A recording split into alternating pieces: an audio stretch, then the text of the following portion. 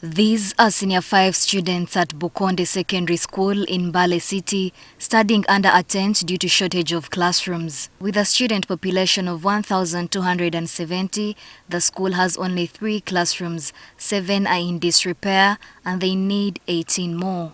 They have lasted for over 20 years and actually they have never been completed up to now and given the time in which they have, they have lasted it means that we again lost uh, their uh, original shape.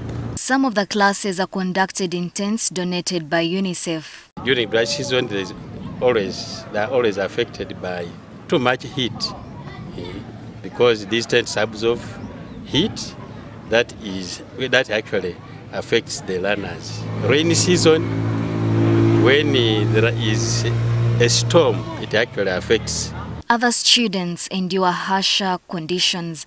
NTV has published many reports about schools across the country with broken buildings, some badly cracked and in need of renovation. Some schools make do with makeshift classrooms barely a meter apart, which results in interference from neighboring classes.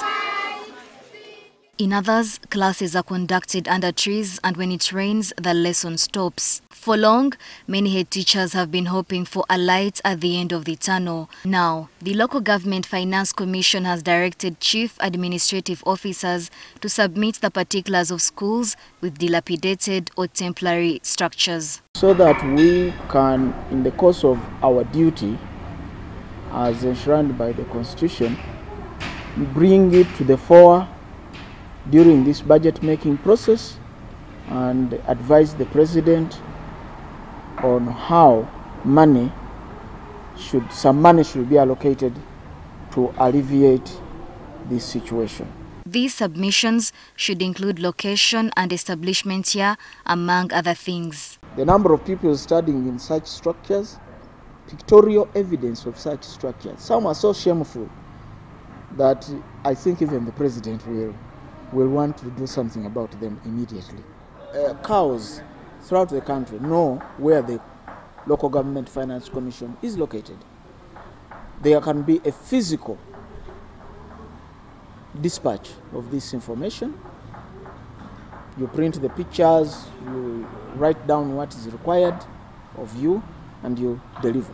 Musumba says the Local Government Finance Commission advises the President on all matters concerning the distribution of revenue between the central government and local governments and the financial allocation to each local government out of the consolidated fund. James Kutosi, the Senior Communication Officer from Mbale City, revealed that the Education Department is carrying out an assessment of 140 schools here. About uh, 40 structures have been covered among them the, the, the, the status they are looking at about uh, seven of these schools are affected this is a report right now the team is in the field they are looking at it and they are going to forward the report to the commission the challenges some of these schools face go beyond dilapidated structures as they do not have essential resources like laboratories and an adequate number of teachers.